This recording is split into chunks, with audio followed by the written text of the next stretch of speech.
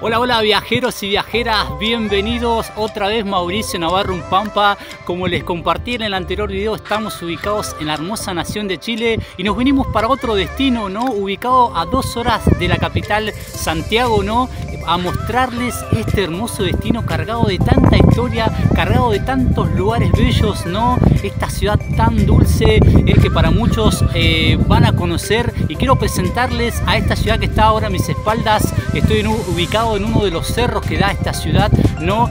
Eh, esta ciudad tan pero tan linda eh, que estamos residiendo en este tiempo. Quiero mostrarles a la hermosa ciudad de La Ligua. Como les decía, estoy en lo más alto de una de las montañas que rodea la ciudad. Aquí acostumbro a subir siempre que puedo. Viajeros, no saben lo bien que se siente estar en este lugar. Se respira paz, tranquilidad, aunque déjenme decirles que esta ciudad es bastante tranquila. La Ligua es una comuna y ciudad ubicada en la región de Valparaíso, en la zona central de Chile, capital de la provincia de Petorca.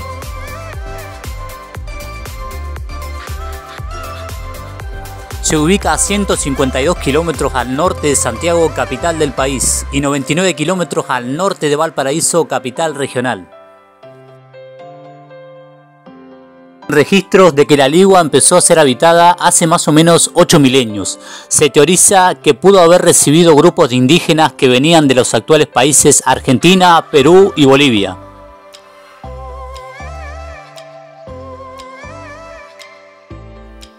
La ciudad de La Ligua fue fundada el 21 de junio de 1754 por el gobernador de Reino, teniente coronel Domingo Ortiz de Rosas, quien la bautizó con el nombre de Villa Santo Domingo de Rosas.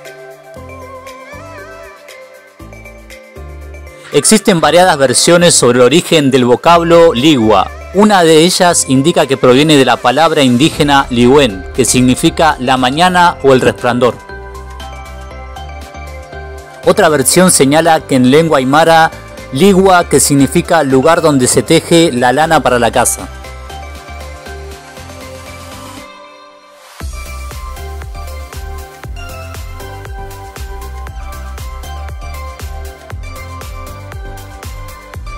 La primera actividad de la zona fue la minería de oro, la que se prolongó por casi tres siglos.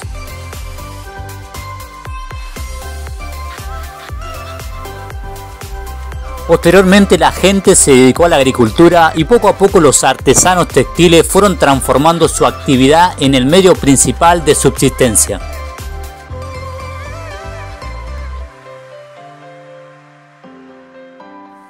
La ligua también es reconocida en Chile por sus dulces, tradición que se ha ido pasando de generación en generación, la que hoy es también una fuente de trabajo.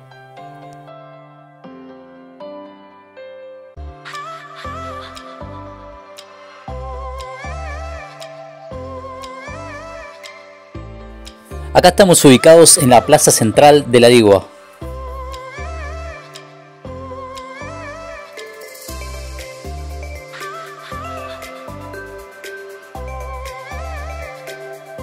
Estamos entrando en el invierno, por eso se ve así nublados, amigos.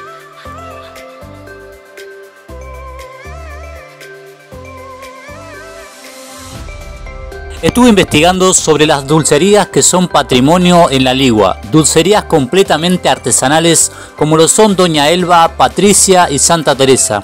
Son las tres dulcerías que puedes venir a visitar si estás aquí en Chile y pasas por la Ligua.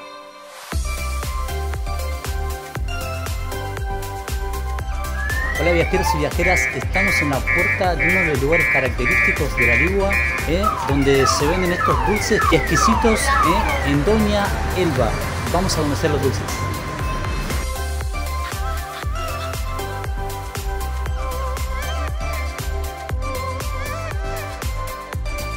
No puedes perderte de estos riquísimos dulces preparados con mucho amor y calidad. Puedes pedir empolvados, cocadas, palita, empanada blanca, almeja, príncipe, alfajor, chilenito o un rico cachito.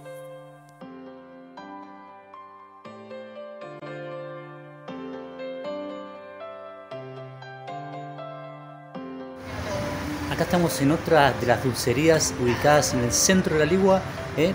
Siempre es bueno para disfrutar un empolvado, un encocado, unos dulces exquisitos de la Ligua.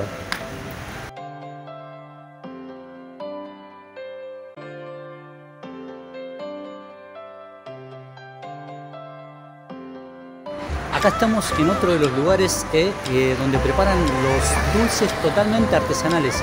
Este lugar es llamado Patricia.